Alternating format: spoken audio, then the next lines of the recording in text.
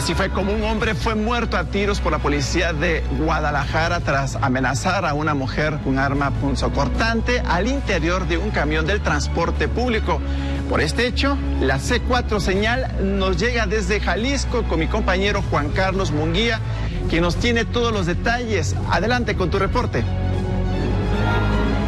¿Qué tal? Buenas tardes, Miguel Sarmiento. Un gusto el saludarte. En estos instantes me encuentro con mi compañero Ignacio Reyes aquí en el municipio de Guadalajara, en esta colonia 8 de julio, donde se suscitaron pues este hecho delictivo en el cual se vio involucrado pues este hombre de 40 años y la joven de 25 años, en el cual pues bueno, este hombre que se nos ha mencionado ya por información oficial por parte de la Policía de Guadalajara, eh, eran pareja este par de personas que suben en el municipio de Tlajomulco de Zúñiga a la unidad del transporte público. En este recorrido, pues bueno, tienen algunas discusiones y llegan a este punto de la avenida Lázaro Cárdenas de 8 de julio, donde el hombre empieza a amagarla con un eh, cuchillo que tenía conocido como cebollero y es así que le realiza algunas lesiones en el cuello y también en la parte del tórax. Sin embargo, bueno, se nos ha mencionado por parte de los elementos de la Cruz Verde que afortunadamente estas lesiones no ponen en riesgo a la joven de 25 años. Al ver esta situación por parte de la Policía Municipal Tapatía que llega a este punto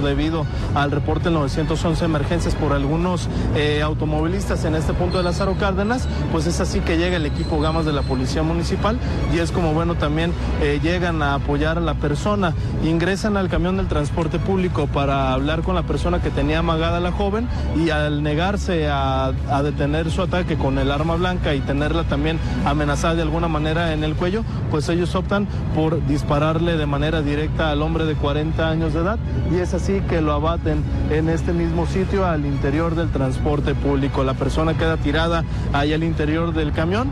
Los servicios médicos municipales llegan para intentar eh, revivirlo, en este caso de hacerle algunas maniobras de RCP. Sin embargo, pues ya la persona ya no puede hacer nada por él y pues bueno, han mencionado que ya se ha llevado a cabo el peritaje por parte del Instituto Jalisciense de Ciencias Forenses para trasladar el cuerpo a sus instalaciones. También la Fiscalía del Estado de Jalisco ya está llevando a cabo las investigaciones correspondientes y estamos bastante pendientes de cualquier información que se nos pueda mencionar.